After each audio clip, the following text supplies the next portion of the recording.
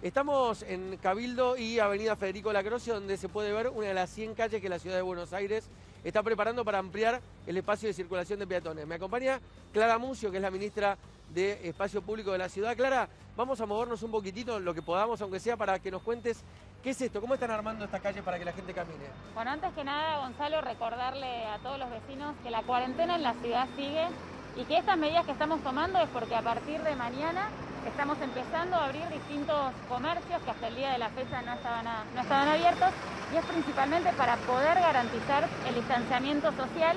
La gente va a estar haciendo la cola en las veredas, acá lo, vemos bien demarcado, y ampliamos distintas avenidas de la ciudad, acá con la demarcación, para que los peatones puedan eh, caminar y se pueda garantizar este distanciamiento social, que es una de las medidas de seguridad que tenemos que cumplir. Eh, Clara, eh, ahora, contame esto de, digamos, están poniendo unos piecitos dibujados y unas, unas rayas, digamos, ¿cuánto va a tener de tamaño este, este espacio, digamos, cómo es el asunto para que la gente pueda caminar y de qué manera, cómo es técnicamente? Bueno, se le está ganando el primer carril, el carril donde usualmente se estacionan algunos de los autos, eh, a todas las avenidas de la ciudad o a varias avenidas de la ciudad, principalmente, como te decía, para que los peatones puedan caminar y se pueda garantizar el distanciamiento social en aquellos lugares en donde se están abriendo los comercios. Esta es una de las intervenciones que estamos haciendo. Otra de las intervenciones va a ser cerrar completamente calles en torno a centros comerciales donde el caudal de gente suele ser más grande, como por ejemplo en Once, en Liniers, en el barrio chino. Esas calles directamente van a ser cortadas desde las 8 hasta las 20 y también otra de las intervenciones que estamos realizando a partir de mañana es el nuevo funcionamiento de las ferias itinerantes de abastecimiento barrial. Clara, ¿qué pasa si, por ejemplo, un comercio quiere parar una camioneta para, que, eh, digamos, proveerse, no?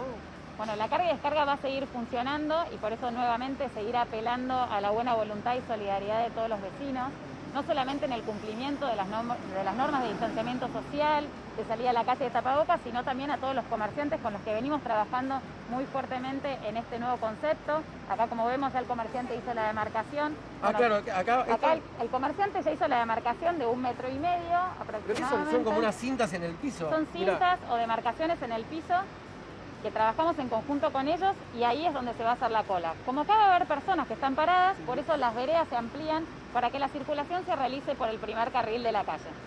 Ahora hay gran parte que depende de nosotros, digamos, porque ustedes no van a estar con la policía permanentemente fijándose quién cumple y quién no cumple.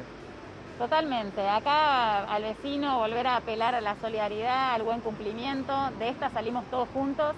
Es muy importante que sigamos cumpliendo con el aislamiento social, con las medidas de protección eh, el tapabocas si salimos a la calle.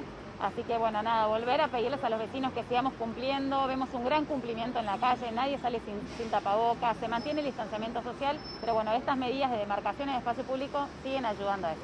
Acá está el camión, hay un camión que, digamos, que tiene todo el dispositivo para hacer la pintura del asfalto y están colocando, mira, es interesante, una, una línea amarilla que es la que separa, digamos, un carril del otro, ¿no ves?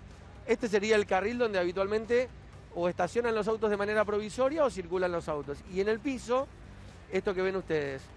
Parece que fuese así como algo cómico, gracioso, pero porque está, es, muy simpática la pintura, pero lo que está mostrando, Marce, simplemente es la distancia que tiene que haber entre una persona y la otra, ¿ves? Claro. No puede haber una persona en el medio entre una. Lo mismo acá, mira, arrancando de acá, la persona siguiente tiene que estar acá. De esta manera lo que se garantiza es que entre persona y persona haya dos metros. Esto donde estoy yo pasando en este momento, que es básicamente un carril del asfalto de la calle, avenida eh, Federico Lacroce, es imposible que uno pueda caminar por este lugar, acá donde estoy parado yo, si la cuarentena no existiese. Acá hay autos. Lo que pasa es que, bueno, ahora la vereda quedó enorme, grandota, una vereda grande. Y para cerrar, lo que decía la ministra recién, que me parece interesante, el compromiso de los comerciantes de colocar en con cintas la marca para que la gente no se acerque a más distancia, a menos distancia, perdón, de eso.